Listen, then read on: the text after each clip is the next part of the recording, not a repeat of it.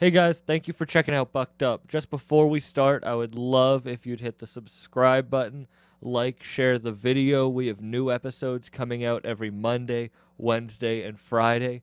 And starting in the new year, check out Wrapped Up exclusively on Vivo.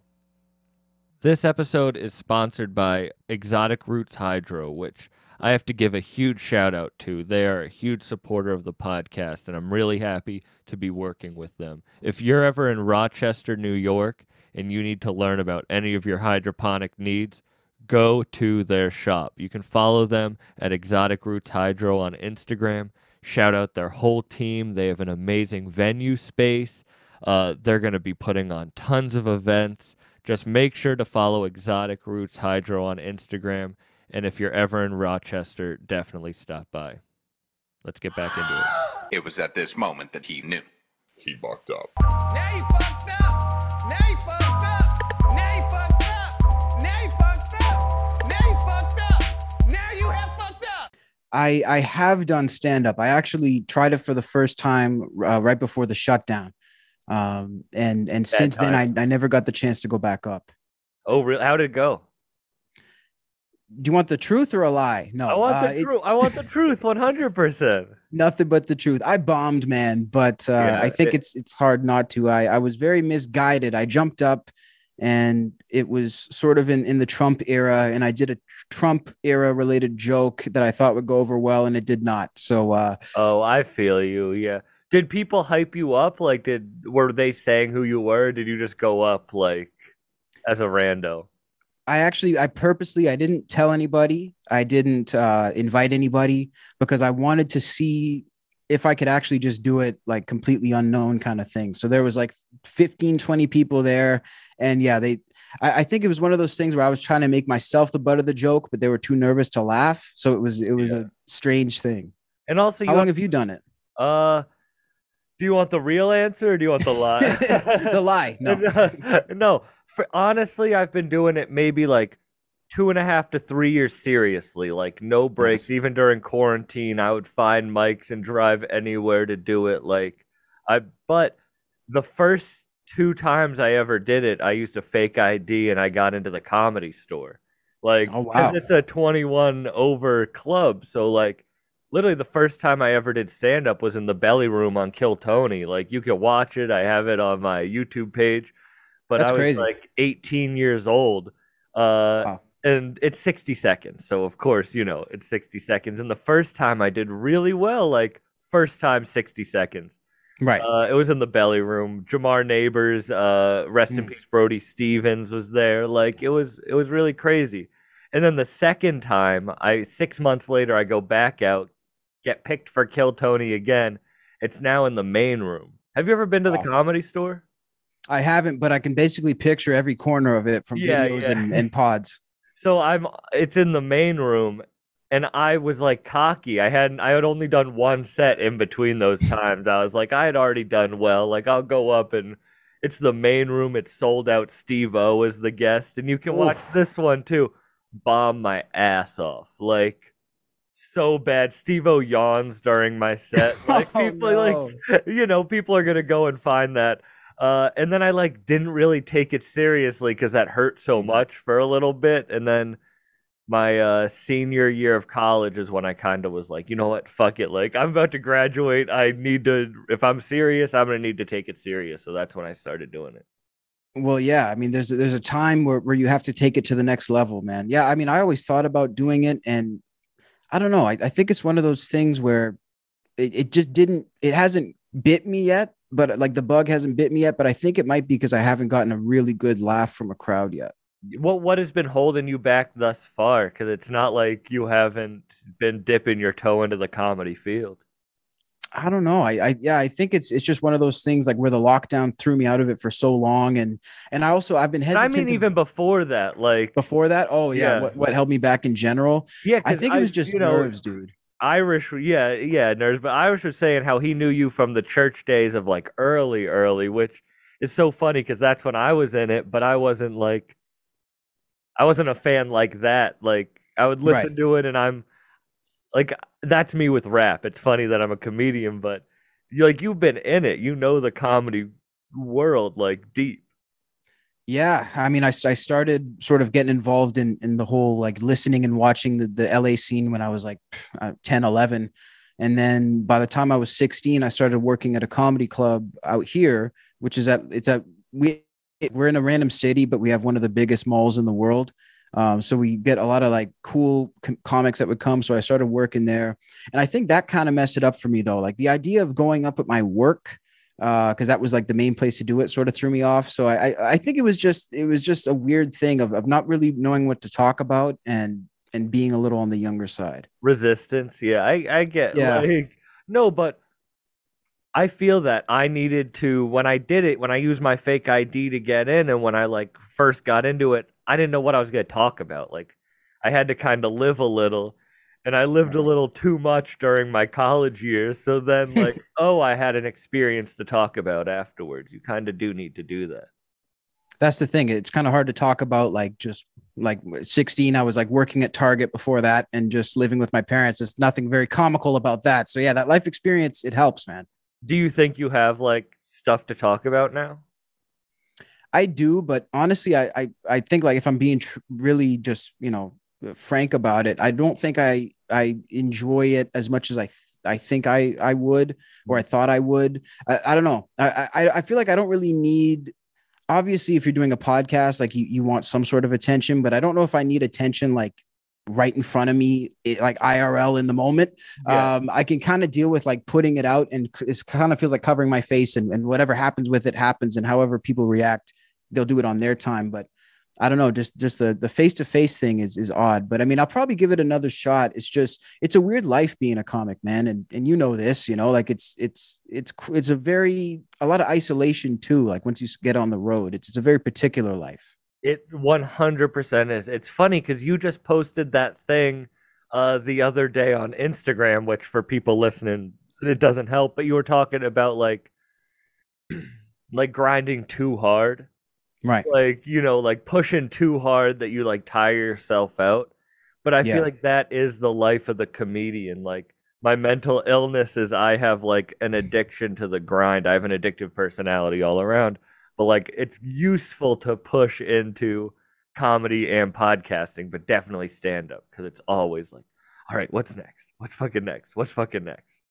That's the thing, man. And, It and never pays off, you know. yeah, like- well, for most people it doesn't right and I, I really truly believe that for something like this especially like you really have to love it like i mean if i didn't love podcasting as much as i do i would have quit a long time ago you know and and i think that i may not love stand up in that same way and honestly i think if you don't i think somebody else belongs up there you know and i'm, I'm sort of okay with that you know but i've always found that life doesn't really go the way i i you know a person expects it to go and i always saw myself as being a comic at this age and maybe the path was different but it's i i definitely enjoy watching it maybe more than i enjoy doing it at this point yeah, but you are doing crazy stuff, and you have been able to do a lot of like really awesome stuff and carve your own lane at a young. How old are you now?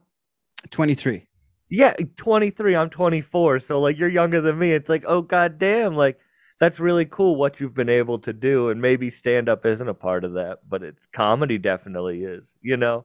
thanks man no i appreciate that yeah it's been it's been a lot of fun and sort of just getting to kind of like peek behind the curtain of like the comedy world the music world it's really just been a fascinating experience it's like it's so much intricacies in these worlds it's it's really something Well, it's funny how it all works out because I've known you, you know, just through being who you are for a long time, but then I also knew you through Irish because he Mm. kind of compares us a little. You know, he'd be like, "Oh, you have to meet this guy Cassius. You remind me a lot of him and the things we talk about or whatever. The the way we just the grind."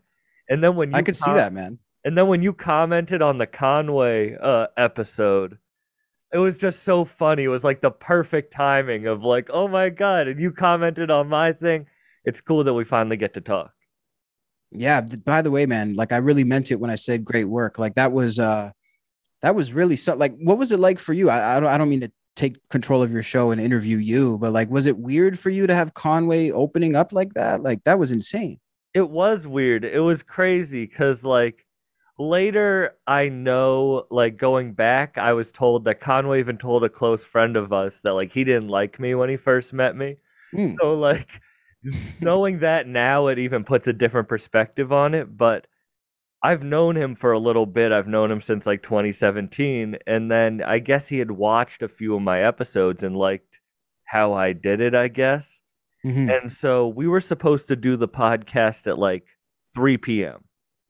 And then he keeps pushing it back, you know, keeps pushing Mm. it back. And it's now, I'm not joking, it's now like 10 p.m. Oh, And we get a text and he's like, from his manager, and he's like, hey, Conway's doing a club appearance. Come to the club. oh And damn. we're like, all right, I guess we're dropping everything because something that I've learned from interviewing all of Conway's guys is like he likes to test people.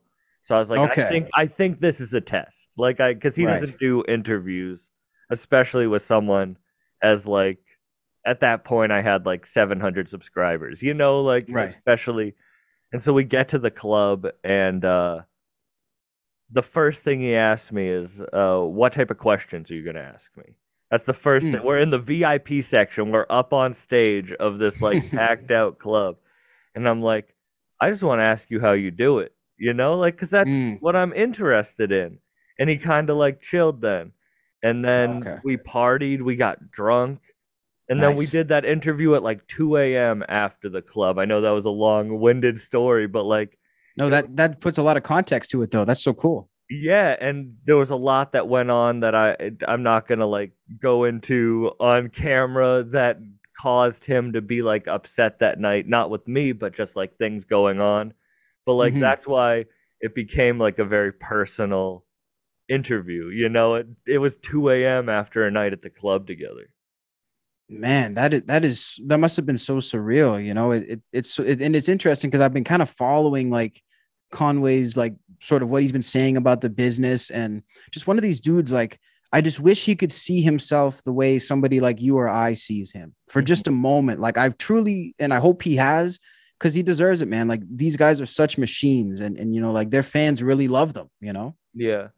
But I don't know if you feel this way, and maybe this is why you don't like stand up, is because after talking to him, because I've talked to him, but after like that conversation face to face, I like understood him more because Hmm. everything that goes well for me makes me like less happy because I just want more. Like I just want to be the best. Like what he was saying, I feel, and I'm at such like a minuscule scale of that where it's like everything that's good, you're in the eye of the storm. So you just kind of mm-hmm. want to keep doing more until you're the best, but you're never the best. You know, it's like Dude, it's so tough. because you've interviewed some of the craziest people ever. Like honestly, like from Thanks, fucking the, uh, fucking the people from Kiss to fucking Danny Brown to Joey Diaz to like, it's crazy. I mean, to countless. But you probably feel it. You're like, all right, what's next? Like, Well, yeah, at times, and, and I know what you mean. And, you know, like you brought up the, the thing about talking about grinding too hard, and, and that kind of goes with this theme. Like I had to find things, whether it's to do with the the game of podcasting or not, that were outside of it to sort of keep me happy, to keep me going. Because if I didn't have that, I felt like the opposite was just being on a hamster wheel and constantly being defined by, uh, you know, whatever the latest achievement is or the latest views are and it's like you know it's almost like like you watch sopranos and they- tell the mob guys like you're only as good as your last envelope. Podcasting like you're only as good as your latest episode. And and it's not like dropping an album as an artist where you drop an album and you have a year and a half off that record. You got a week maybe off your episode before it's like okay what's next? That's old news.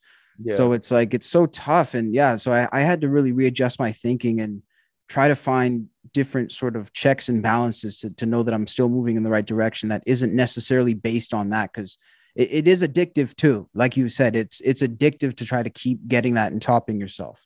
One yeah the numbers.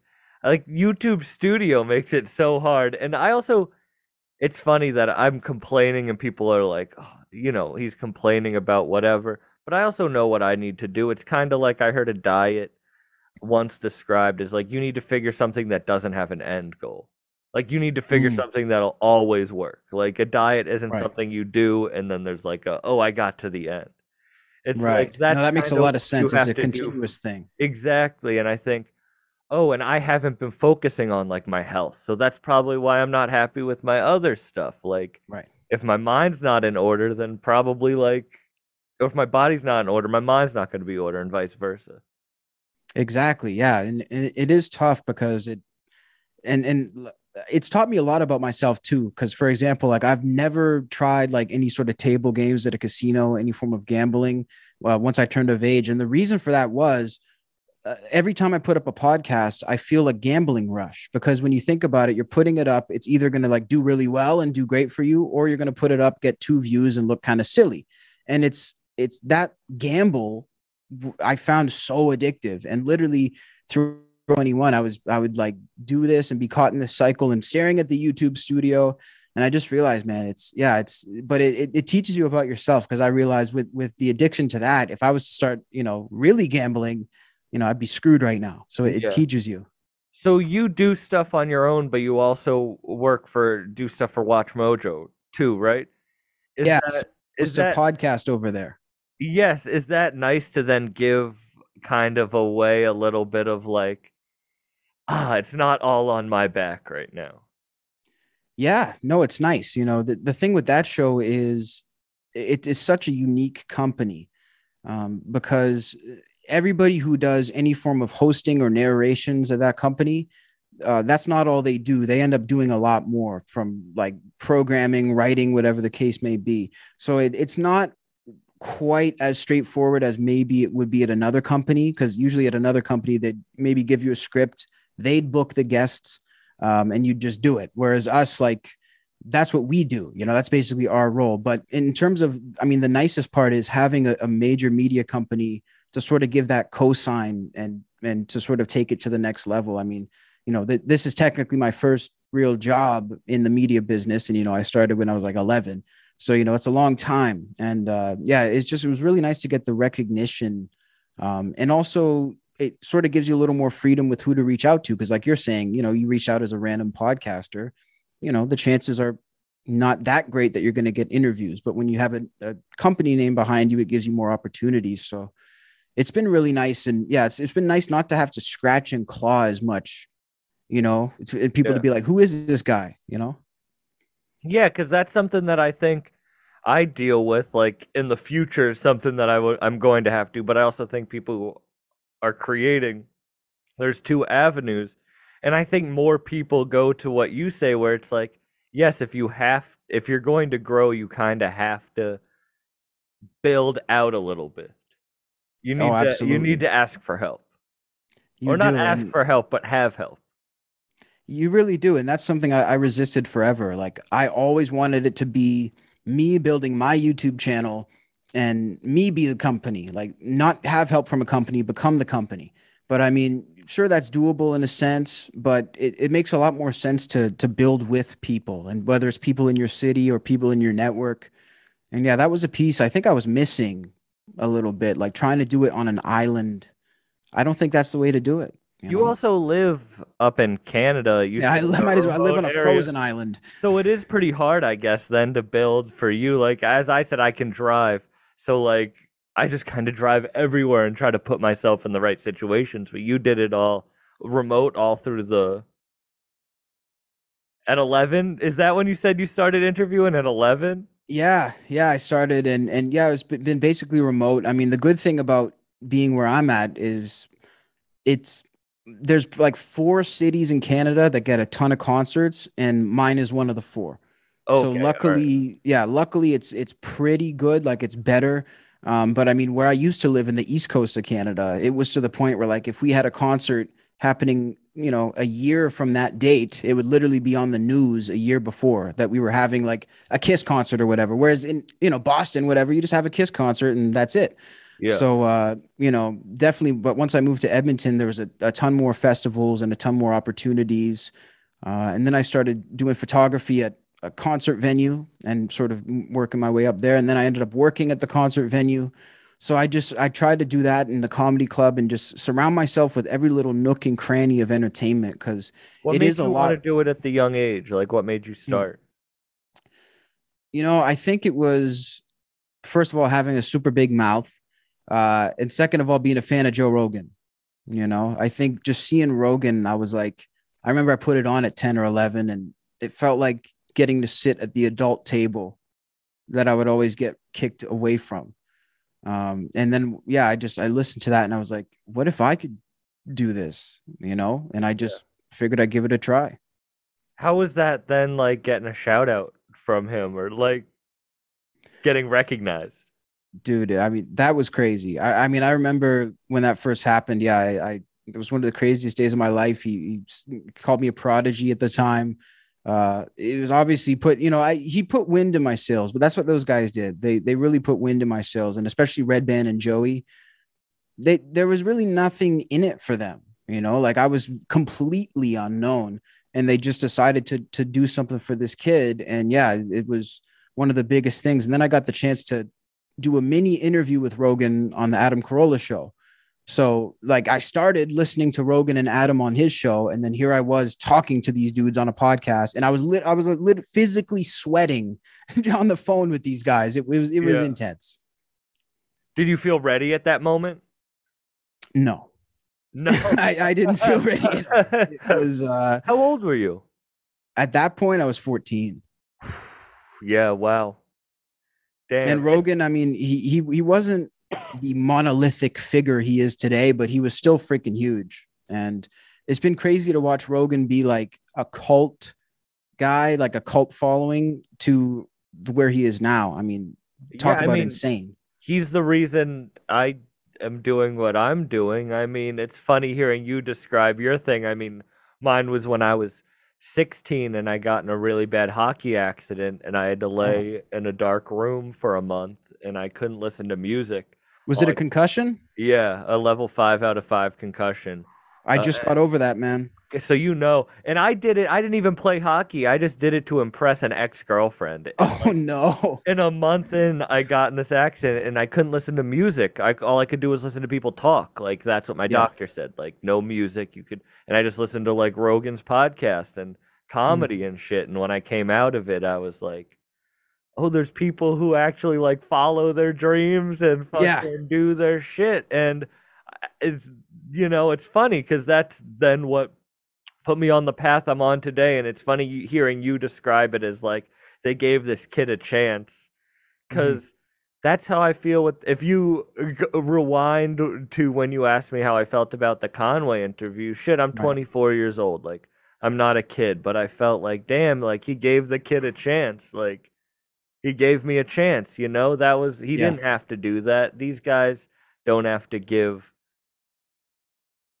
you know, me- Anything. like exactly. They they have people wanting to do shit for them all the time. So for them to do it really does mean something, but shows that you're on the right path, I think. I totally agree, you know, and, and it's all you know for you what you do with it too. And I think these guys get it. Like they know that them partnering with you may not like be the thing that you know makes you a household name, but it's about what you do with that, you know. And and yeah, it's it's really it's a blessing when someone at that level passes that along. It says a lot about their character.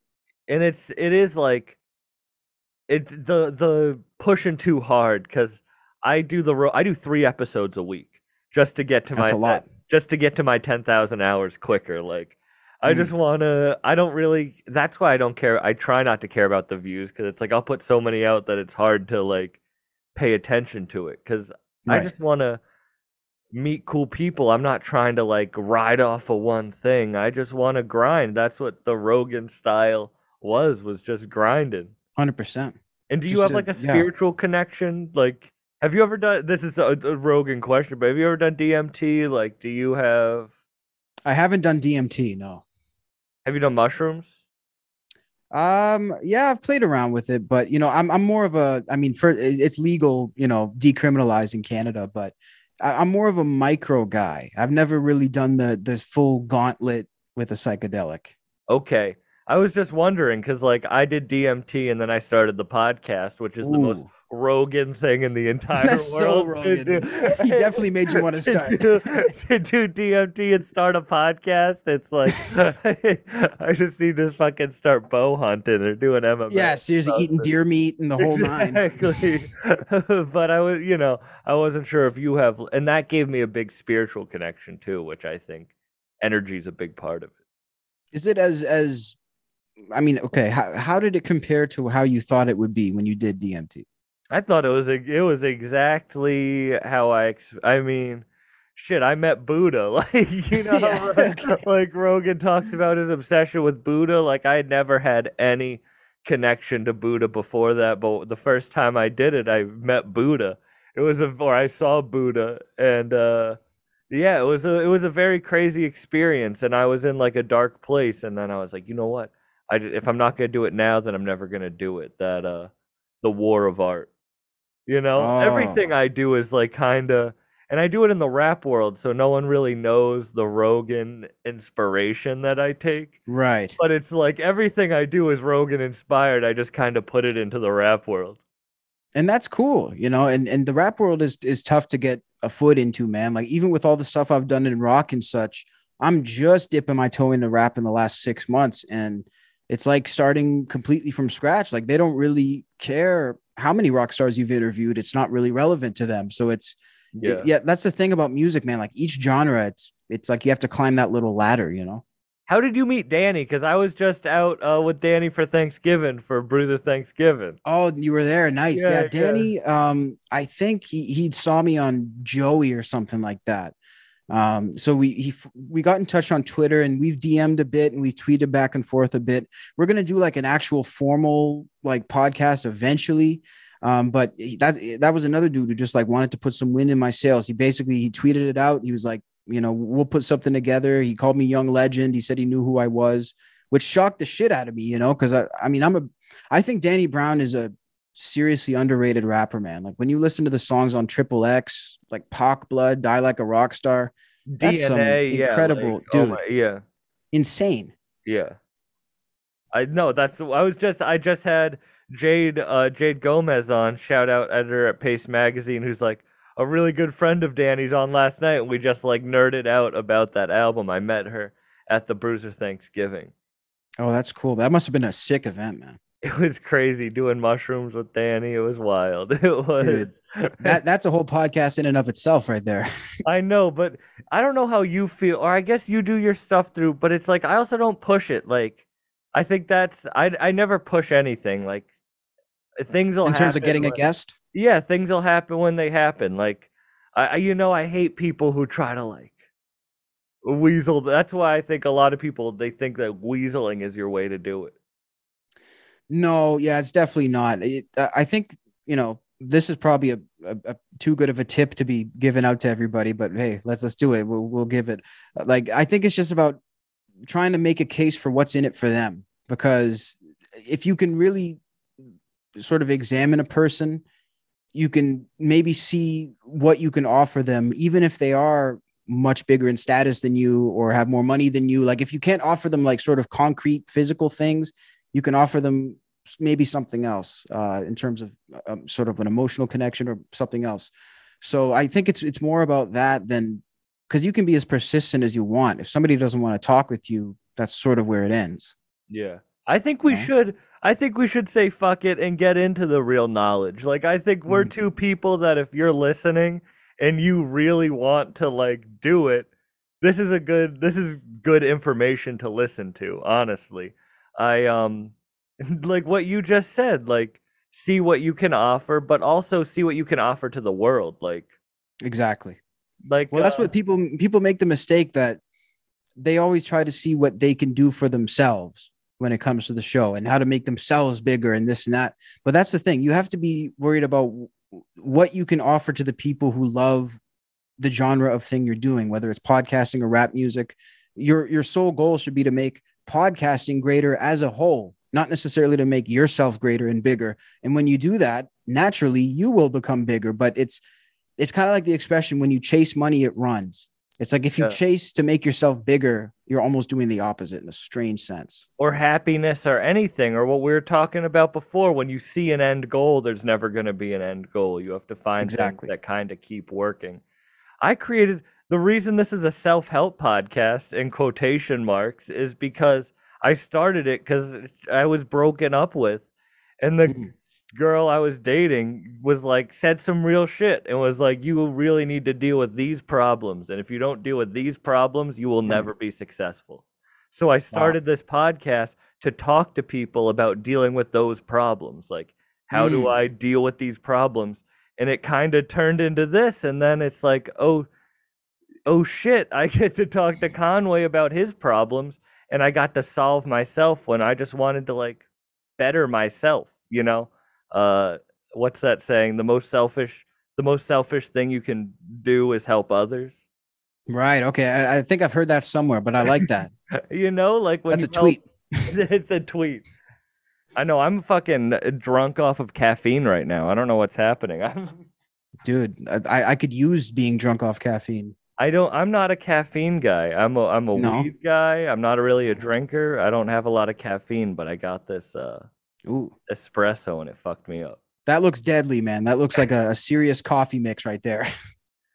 So how? Okay. Uh, you started at 11 just because you heard Rogan, but like, have you thought about like this is dumb, but like the spiritual reason why you at 11 decided to do this or were set on your journey?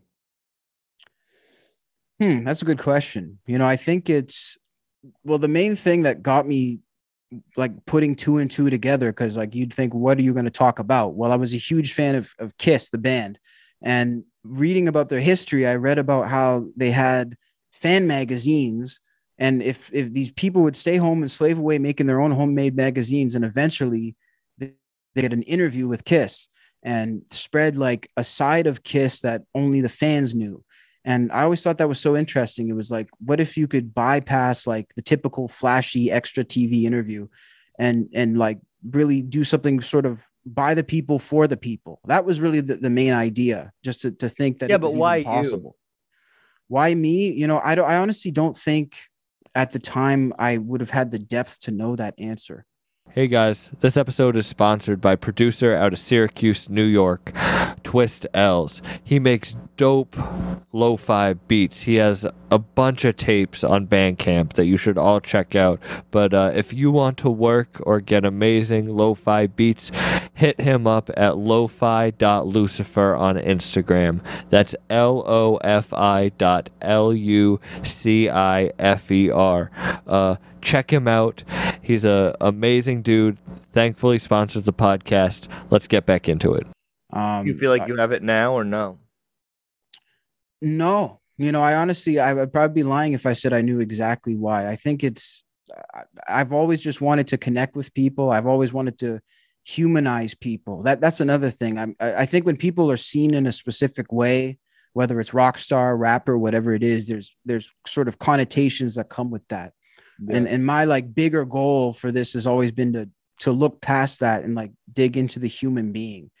And why I like that, that's a good question. Maybe that's something I need to smoke DMT and think about. Um, I'd like the answer. Do you have any siblings? yeah, little sister. She's uh she's 22. Okay, did you uh this is I'm not I don't mean to get all like there, but like were you cuz this is how I was. Like I I guess I should speak. I was very like I was a lonely kid.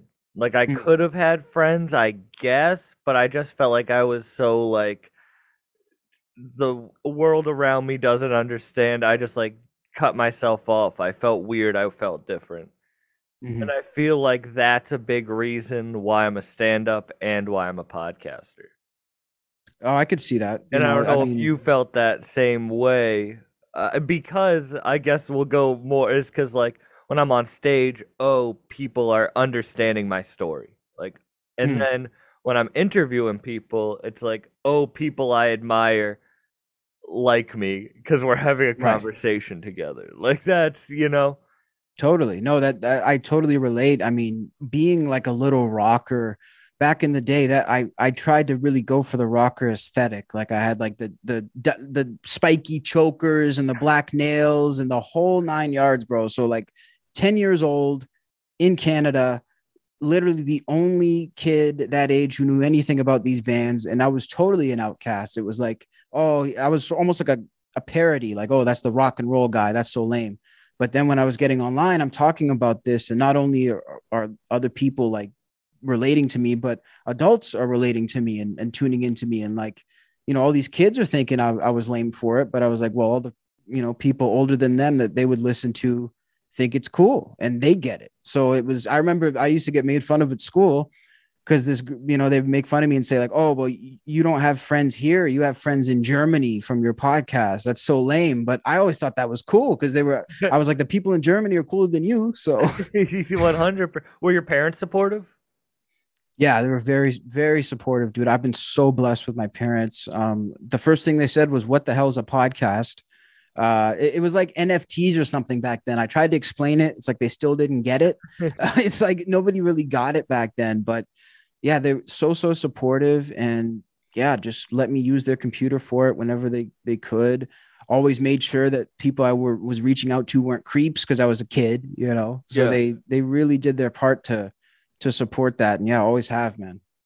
What was your first interview that you felt like, oh shit, this is real?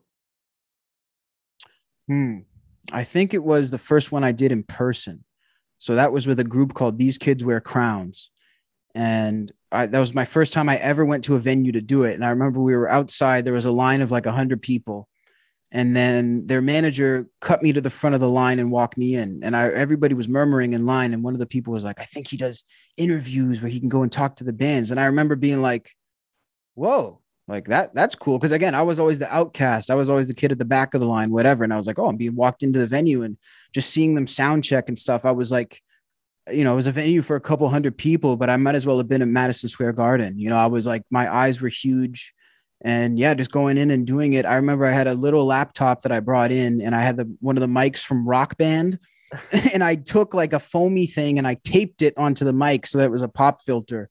And uh, you know, I looked ridiculous, but I sat there with my little notepad at 10 years old and did it. And I mean, it was a Atlantic Records artist. And I just remember it was just a feeling like I'd never had. And I was like, you know, this is something that could make me stand out and maybe make me get noticed for something I used to get made fun of for. So it, it really just clicked in that moment. At 10 years old, that's crazy. Well, what were you asking? Like, what's your favorite crayon? Like, yeah. I was just asking, like, you know, tell me about, and I was trying to sound like Walter Cronkite or something. Like I was trying to sound super professional. I was like, tell me about your new single Jumpstart, trying to be all, you know, yeah. and, and the, dude- the dude was high as as hell by the way uh like they had just smoked up like right before i walked in and the dude was like trying so hard not to laugh because he's got this kid thinking he's the, the new larry king you know even though we know that's you so that shit's still so funny to me. i like that man you should run with that I should. Do you think at it, finding it at an early age helped like was beneficial because it now give it gave you like or do you feel like you weren't able to live enough? Hmm. I think of both, actually. Um, I, I mean, my entire life, I've been declining offers to hang out with people or to do this or do that because I have to go do a podcast. Like, I would literally, I had a buddy who would ask me to come over, and before I could even say it, he'd say, "Oh no, you have to do a podcast." And you know, this is like in the seventh grade. So yeah, I mean, I've I've sacrificed a lot of regular things through my teenage years and, and childhood years but at the same time i see it as a positive sacrifice because it, it got me to where i am today you know I, I i'm sure i maybe could have probably made it happen but i can't picture you know starting in a different way because it just it, it felt like it was always just what was meant to happen. And and i never had the, the one positive about it is i never really had that crisis growing up of like what am i going to what do i want to do with my life? That's the one positive. That wasn't there was never a question for me because it was always just something to do with the podcast. So that you know there's positives and negatives to that for sure. Yeah. I was asked this by someone I went to go speak at my college, and I was asked this, and I guess I want to ask you it because I asked this to someone else on the podcast, but I find it very interesting. Someone asked me, uh, if anyone could do what I do, or if it's just because who I am, I can do what I do. Hmm. D- and I, I want to, I'll answer it myself, but I want to hear what you feel about that. Man, that's interesting. You know, I, I think I think each person, I think it has a lot of it has to do with who you are. It's, you know, everybody does have sort of qualities about them that are unique to them. And, you know, I think that can help you or hurt you depending on who's watching.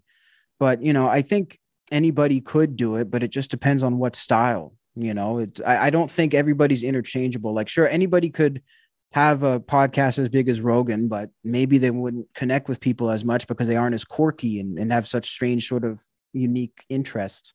So yeah, I think it it's doable by the maybe the line share of people, but I don't I don't think it's it's the same with everybody.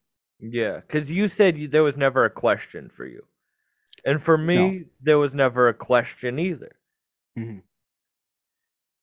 And I hope that everybody in their mind has something that there's not a, and you have to find it.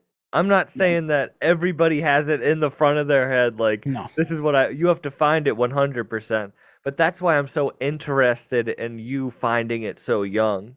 Mhm. or me finding it in a stupid hockey accident trying to impress a girl that had already dumped me for a deaf kid.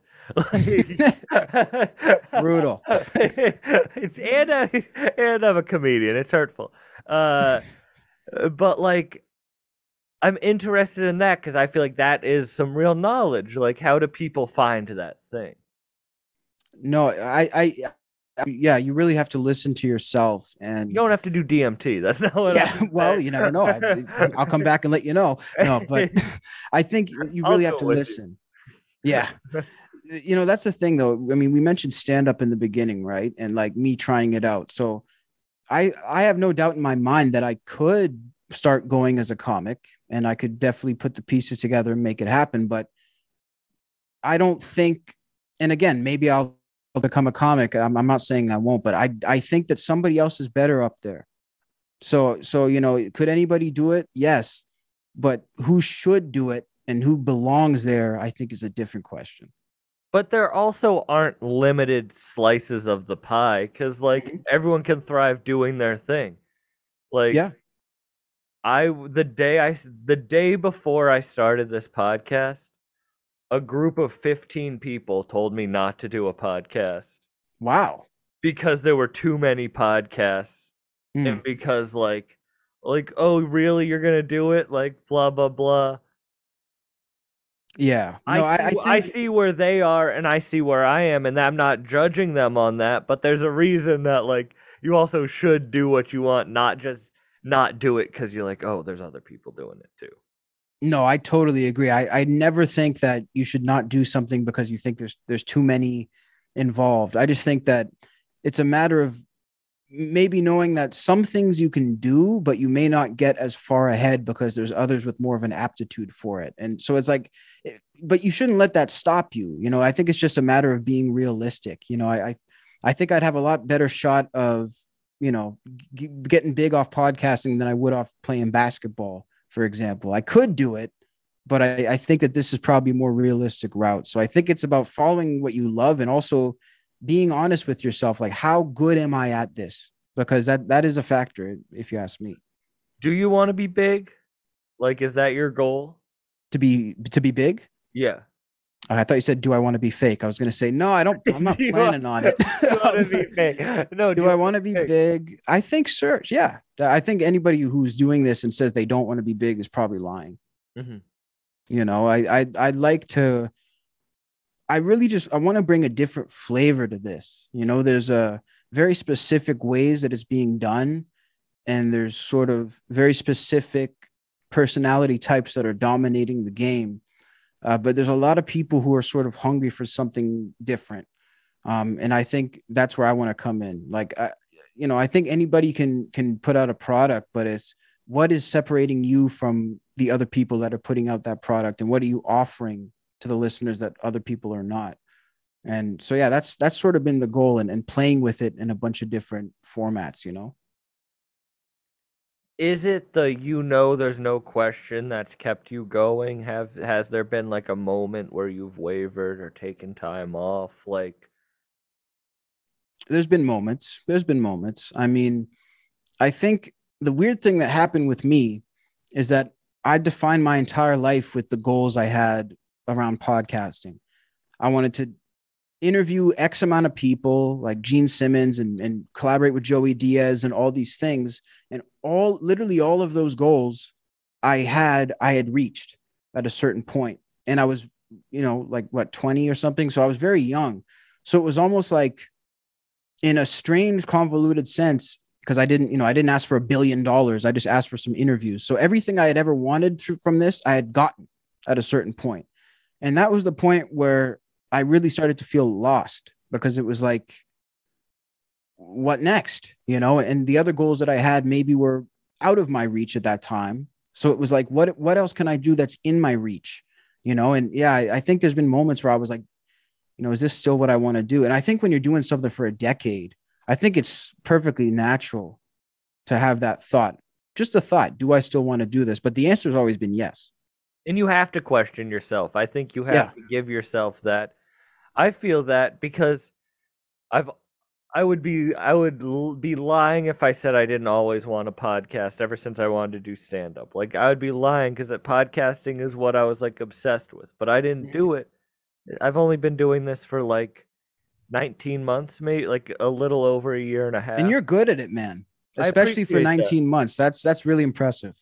But I also was obsessed with Rogan. Like I would Mm. I wouldn't be lying if I said I listened to almost every episode he did from I think I started around episode 400 to Mm. like you know I've listened I studied him like Yeah.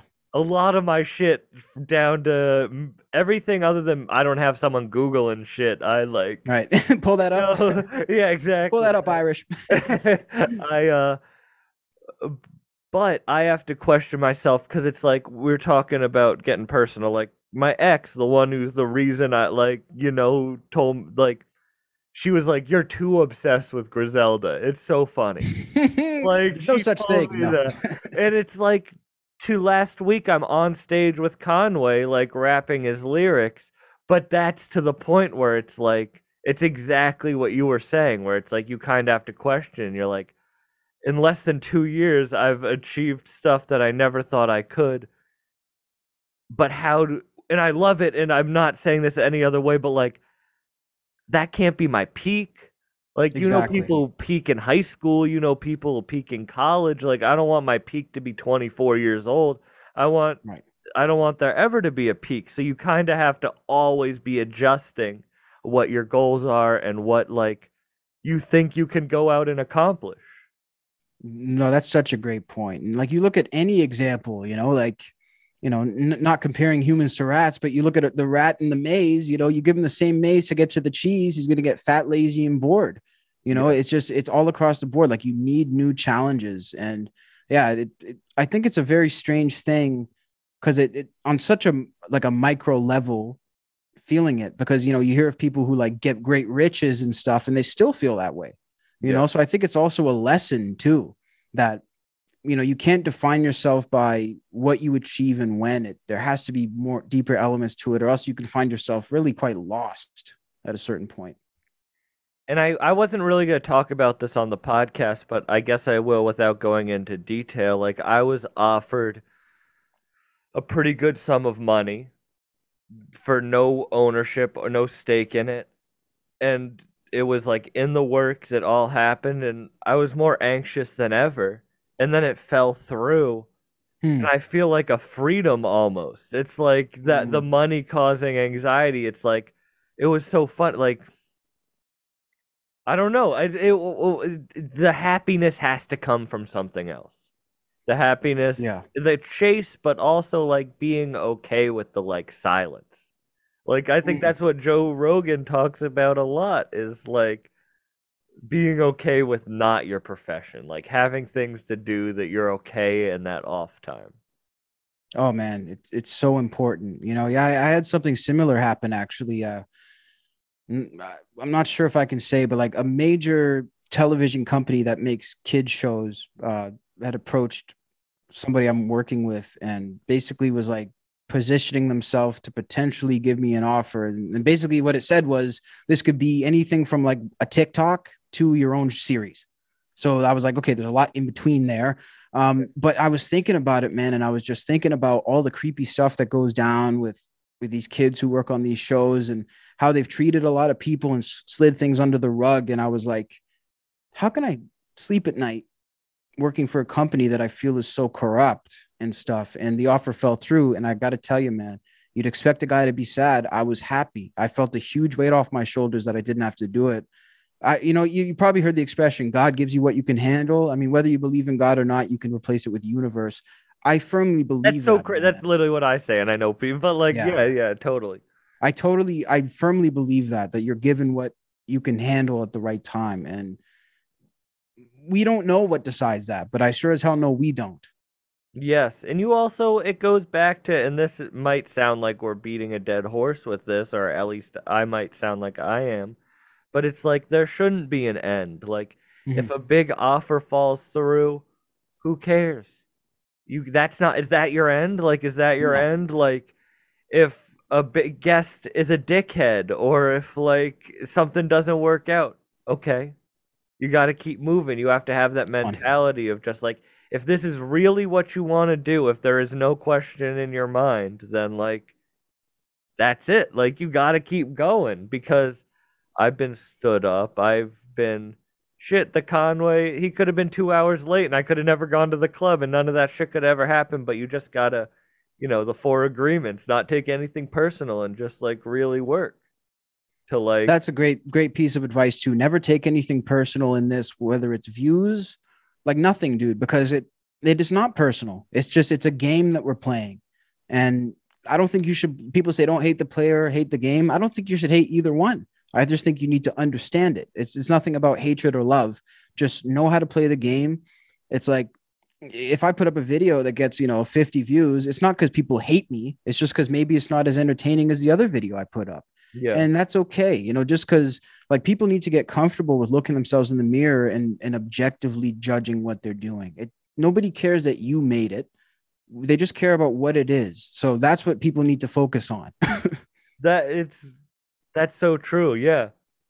you Uh, is there something like a moment in your mind that you like you feel? I know that first interview when you're young, but like, what is that that you tell yourself like that you go back to maybe when you're questioning yourself? probably uh, my interview with Gene Simmons. Um, that was just such a defining. It was just such a defining day for me because I I fought all day to get that interview. Uh, it was at an expo, and they they I had media for the expo, and they firm because they knew I was a Kiss fan. They knew I was coming. They said, "You're not interviewing Gene Simmons." They said, "Nobody is." So just get that out of your mind. I said, "Okay," and I came day after day after day. That day i think i waited like at least eight nine hours to finally get in touch with his publicist and just figure things out you know? And and i ended up sending an email to the kiss camp. Uh some somebody i knew he passed it to gene and gene responded saying sure i'd be happy to say hello. So then i got the media people on the phone. I said yeah I remember how i wasn't interviewing gene? Actually i am. So uh that's gonna happen so they wouldn't try to throw me out. And then my camera guy bailed that day so I actually went down, I set the whole thing up myself, I arranged it myself, I waited, and I just pulled the whole thing off literally completely on my own. And like it was just one of the most satisfying feelings ever because it just it showed that like you- like you, you just you don't need a handout, you don't need anything. If you want it, just hit the ground running and you can get it, you know. And that was that was one of the probably the biggest dream that's ever come true in my life. That's so cool that you did it. And it's funny how similar it is to the Conway story of like you just have to Mm. like for people listening or just like I want to stand up and like shake your hand for it. It's like not giving up even in the moment. Like even when Yeah. you're like, oh, it might not work out. Oh, you know what could happen? Nah, just stick through it, and that could be a life changing moment. that's the thing and, and more often than not it will be if if there's that type of challenge. Like yeah i've had weird ones too where people barely show up like Afroman when he came here. We were supposed to interview him at like eight o'clock. It ended up being like 3:30 in the morning outside his hotel and we're talking to him. But like that was one of the funniest interviews in the world. He had like never been to Canada. He didn't know what Canada was. He's like this is weird you know? And yeah it's just you know you got to you got to that's the thing though. It, it goes with the theme of it's never going to go how you expect it. You expect the interview at 10 at night with the rapper I wouldn't expect that. Just go with the flow, have fun, it'll be cool. One hundred percent. Yeah, I feel like this is just kind of like we're we're talking the same thing, but I hope people hear this like understand what we're trying to, or what at least what I'm trying to portray. Or when people listen to your interviews, you're I feel like you want you want to like teach people too. Absolutely. No, I do. I, I think it's it's it's better to do it that way and I think there's a lot of investment from people in hiding like what they do and how they do it. And i don't necessarily see that as a benefit. Like i think people are interested. I think the process is content in and of itself. If you document the process that can be just as interesting maybe as the finished product. So yeah i think people people should if they open up about that it probably works in their benefit. And as Westside Gunn says, we've read the same book, but you didn't understand the message. Like, hey, there you go. It's true. Like, you can. I think that's what Rogan's podcast was the best for. Is because Oh, yeah. I listen to Rogan and I get something, but someone else could listen to it and it's something else for them. But like, I understood what he was trying to portray, and I think you did too by Absolutely. picking that up. And uh, it changed my life for the better. And I don't really talk about it on this podcast a lot, especially because of like who he is now. Well, that's the thing. Now, now it's it's it's he's become like a sort of a cliche, and, and which is great. You know, like if you become so mainstream that somebody brings you up and and the people are like, oh, not this guy's name again. I mean, that's good because you're constantly being talked about. You know, I I never I never thought he would get as influential as he is, and I'm but I'm glad to see it because what it makes what we're doing more legitimate. That's one less person who says, "What's a podcast?" Yeah. You know, and that's a huge thing. Like we don't have trailblazers, you know. I mean, uh, shout out to Logan Paul, but uh, I mean, if that's the biggest trailblazer next to Rogan, I think Rogan deserves the credit. I'm just saying. yeah. Yeah. Do you listen to podcasts now? I do. I don't listen to them as much as I did, but I actually realized in 2021 that was a weak point for me, and that was one of the mistakes I was making, as I wasn't in tune with what was popular today. I think that if you're in any kind of field, you need to examine all of the biggest people in the, those fields, whether you enjoy their content or not. And I think the biggest tip is identifying what you think people are getting out of it. You can hate this guy's show, but watch it, study it, and come to a conclusion as to what they're doing that's drawing people in.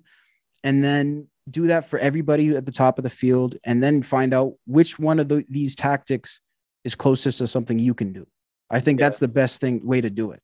Because it's so fun to hate. And I do it too behind closed doors. It's fun. I to, used like- to do it a lot, but do anymore. I don't do.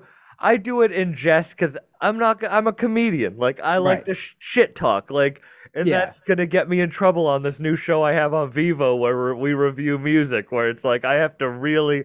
My co-host really. I told him I was like, you got to keep me under wraps. 'cause Yeah. I just enjoy the shit talk, and I don't even mean it. I just do it because I'm a comedian.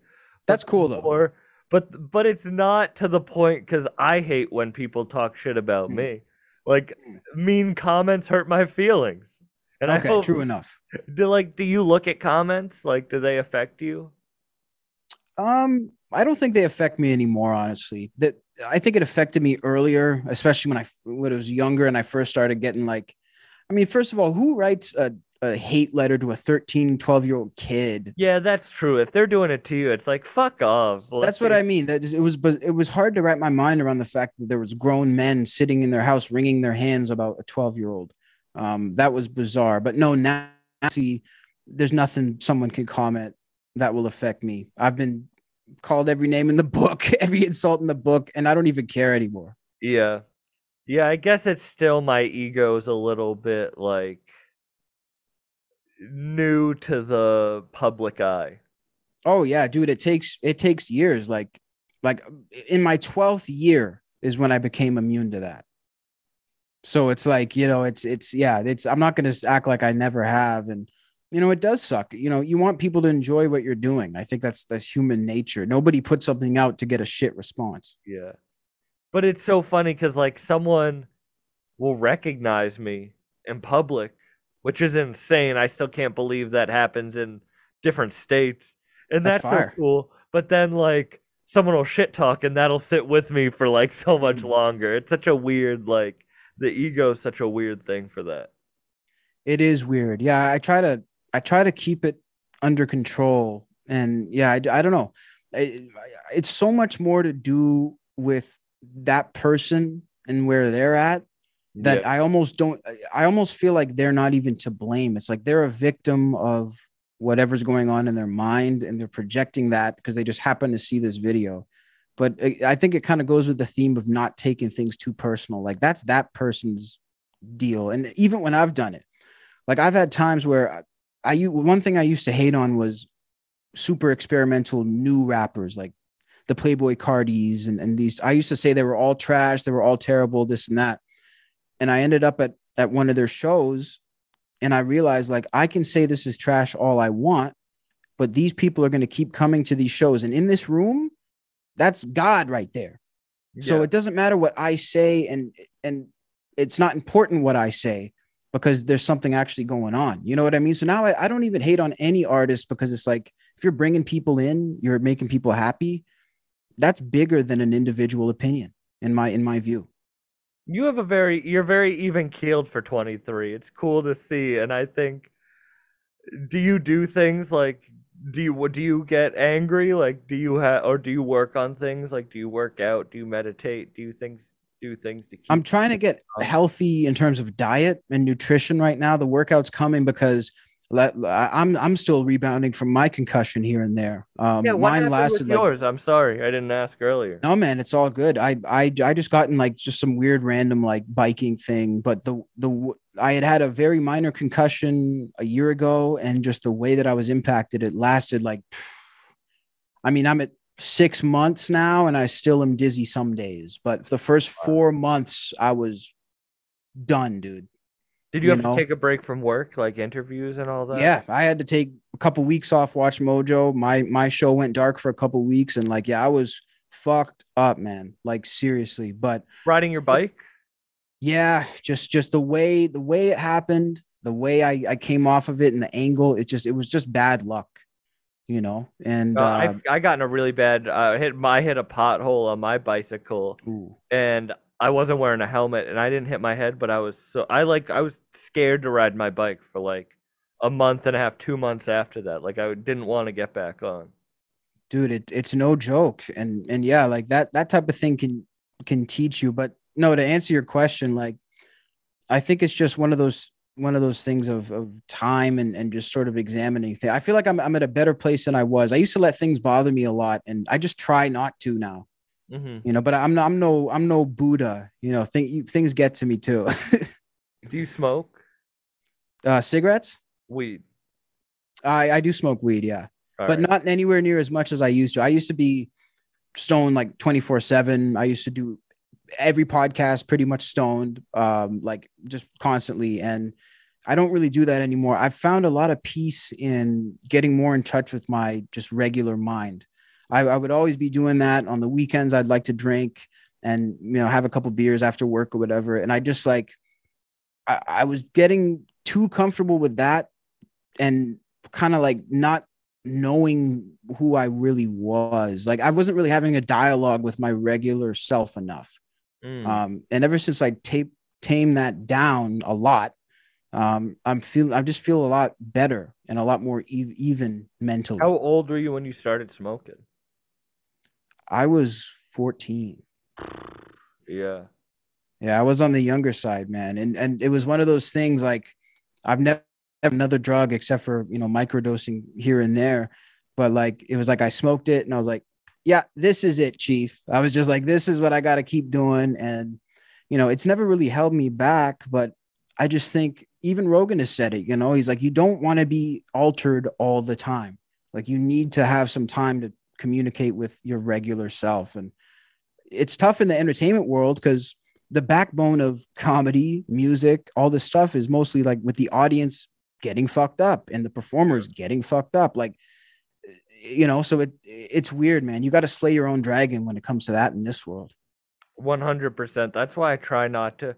That's why I hate that I've been getting even one drink at shows recently or two drinks at shows because it's like I would smoke, I would give myself that, but like I would never drink before I gave got on stage, and now I'm kind of Right. like I feel like I've been loosening my morals recently. Like I've been eating hmm. unhealthy. I haven't. I've been sleeping in. I haven't been doing this working out as much. Like, and I blame it on working hard, but I think it's just loosening my morals. I think it's resistance. Right. I think you have to give yourself a certain set of rules, and it's like, well, I'm still releasing three episodes a week. Like I'm still doing that, so I can eat McDonald's three days in a Right, row. You know, and that's like that's not how it works because life has to keep moving. You know, like if that's really what you want to do, then you have to also work your other life around it. Yeah, and it, it, it is tough, you know, it, but and and it's such an individual thing. I, I feel like people spend a lot of time looking up tactics or looking at what other people did. And again, it's good to take pieces from that. But if there was a one size fits all way to improve yourself, everyone would be doing that. I mean, Yeah. sure, maybe eating healthy and working out could be one size fits all, but it, the what you know the intricacies of that for each person are very different. And I think you got to care enough about yourself to advocate for yourself to find what that is for you. Hmm You know, Yeah. Man, this is awesome. This is a great conversation. When do you do you can you leave Canada right now? Or there? honestly, dude, I I'm not even gonna try. It, it seems like such more of a hassle. Like I want to go travel to relax and get things done, and it seems like more of a chore to travel right now Yeah. because Canada is insane right now. Uh, so yeah, but I I mean I definitely I got New York is in my sights, dude. I got like a couple other people who I've, I'm connected with out there, and You might I, move to I'm Austin. anxious. Was that? I said you might move to Austin. I might move to Austin. I mean, I'm thinking about it, dude. It's just right now I want to get out of Canada. I don't like I don't have any hate. I love everybody here just in terms of what I want to do with my life and also some of the in light of some of the current stuff, I just don't want to be here, you know. Yeah. So the states is Yeah, Probably it's the crazy the lockdown shit. I've been seeing videos and stuff about like the curfews and everything. that that type of stuff and just those like, aspects of it go, going too far uh, is is what I think is happening here. You know, like I'm all for masks, wash your hands, blah blah blah, all this stuff, six feet. Um, get get vaccinated if you want it, all this stuff. But I think there's a limit. Like once you start passing that in Quebec, they just announced that they're going to be having some form of tax for people who don't have the vaccine. So they're actually going to be taxing them out the ass for anything they want to do. And I'm like, when there's 10% of people who don't have a shot, like that, first of all, that's a small percentage. And second of all, we don't know why they don't have it. Like there are a Yeah. lot of health issues. Yeah, there's some people who literally can't. So yeah. That's the thing. So yeah, like I, I don't, I've been going through this thing and uh, through this whole pandemic where I've kept, kept my mouth shut just completely because people are so hair triggered. But I kind of got to a point like looking at what they're doing around here and like forcing fully vaccinated people to go to quarantine hotels, like stuff like that. It just doesn't make any sense. Um, I, I thought of myself at like 90 years old, sitting in a hospital thinking about my life. And I was like, if I look back to a time where there was actual real shit going on that I see as an injustice in the world, how could I live with myself if I just sat there and smiled to make my life easier? It just doesn't sit right with me, you know? So, yeah, I mean, I'm against those extra measures. And I think it's good to remind people right now that you're allowed to have an opinion and it doesn't have to be the popular one. Yeah. Yeah, because you're so I I feel that you're scared to like say how you feel because you don't know how anyone reacts, no matter what their opinion is. People are so quick to just get take it take don't they take anything personal. That's what we are talking about before. Like people are so quick to take opinions as personal attacks. Yeah and and and they're quick to take asking a question as giving a stance. Like you can be the most pro-vaccine person in the world. You can still ask questions about the vaccine for example. Just because you're asking questions about it that doesn't mean you necessarily don't want it don't have it or don't think people should get it.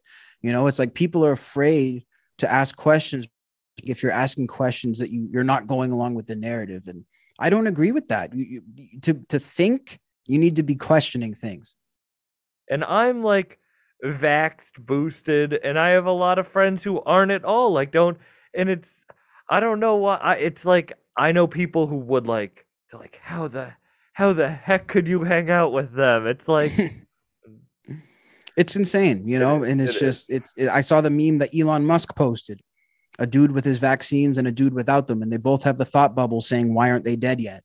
You know, that's the thing. I don't Exactly, yeah. believe in that type of hyperpolarization. There needs to Yeah. be more balance. One hundred percent. But man, I ho- I hope to meet you in uh, person sooner rather than later. Likewise, man. I really appreciate you doing this. I I respect everything you've done. I I uh I want to thank you for everything you've done for such a long time, and uh, Thank I you. man. appreciate you coming on for real. No, that really means a lot, dude. And and just keep doing what you're doing. Like I say, like you're killing it. You're you're really onto something great here. Like I know people who've been doing it a lot longer than you, and they don't have nearly that natural feel that you have. And yeah, really great chatting with you, man. Definitely. Thank you, man. And it's so funny. The Irish connection is just really. It's such a funny like small world, you know. Dude, it's so weird. I did a podcast right before this, and I brought up a mutual friend that me and that guy had, and suddenly he jumped out of the background. So like the, literally the same. thing. that is so fun. right but uh cool man. Have a good rest of your night and uh you know, we'll talk soon. Yeah, man. When do you think this is going up? uh this will probably be next week, probably next Friday. Sick. Okay, I'll I'll post the hell out of it everywhere, man, and uh, keep in touch. Really appreciate it. Yeah, of course. Thank you, man. I'll talk to you later. Man. All right, take care.